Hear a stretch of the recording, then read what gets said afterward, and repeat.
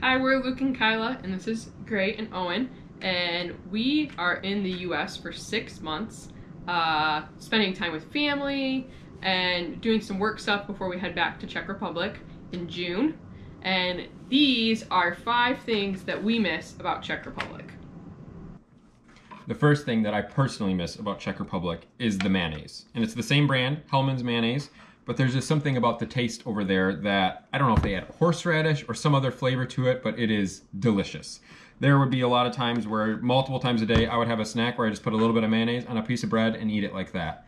And unfortunately, I can't imagine doing that with this kind of mayonnaise. The second thing we miss about Czech Republic is going on walks in the forest. Near our flat in Czech, there's forests everywhere. Uh, Czech has a really good system for finding new trails all the time. And near our flat, there's like 50 different geocaches, and we love to go geocaching. Here, we can still go on walks, but it just doesn't feel quite the same.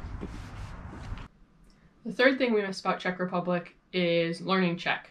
We can practice a little bit here, but there's not really anybody to speak with, and we can't speak Czech at the grocery store because people wouldn't really understand us. So it feels a bit like we've turned a part of our brains off, and we have the worry of what if we lose all of our Czech? So we are trying to study as much as we can, but it's just not the same.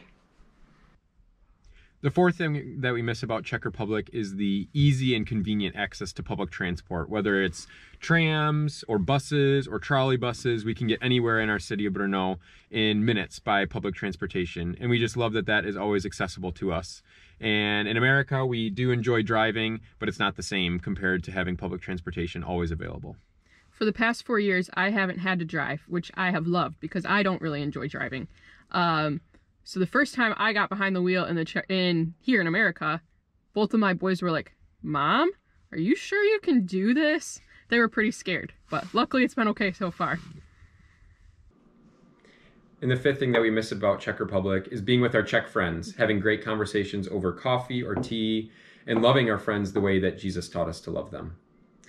We will be in the United States for the next six months, and if you are interested in knowing about the work that we're doing in Czech Republic and the things that are going on there, we would love for you to like or comment this video, or you can message us on Facebook as well, uh, and we'll get back to you with more information about what's happening over there.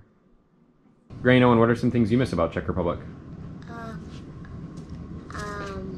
I miss my friends, and also I miss my birthday in Czech Also, I Republic. miss my birthday. And what about you, Owen? What do you miss from Czech Republic?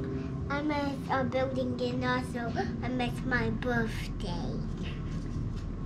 At Czech Republic.